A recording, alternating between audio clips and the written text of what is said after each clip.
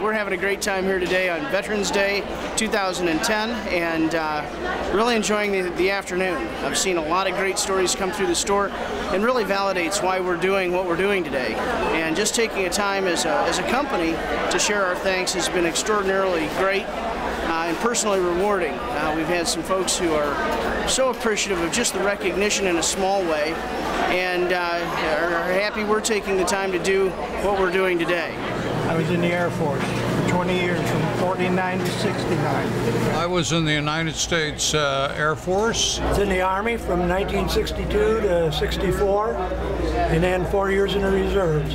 I was drafted. Guardsman from uh, Plymouth unit, uh, served in Iraq, had a quick tour in Haiti, and then Afghanistan soon. I was in the Army Air Force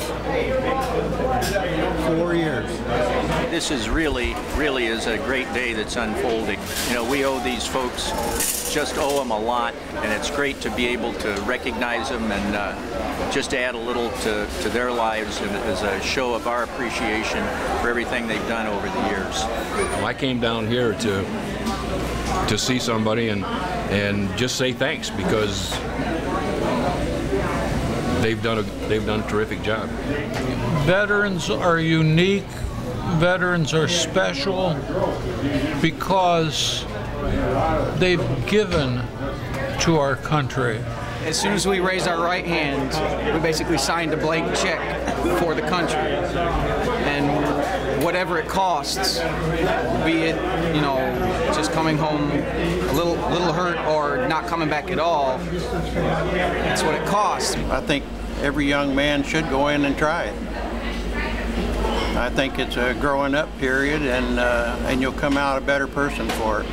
I thought I got a pretty good education, so I really enjoyed it. Yeah, I didn't like that shooting at me, but that that's all right. I, they missed.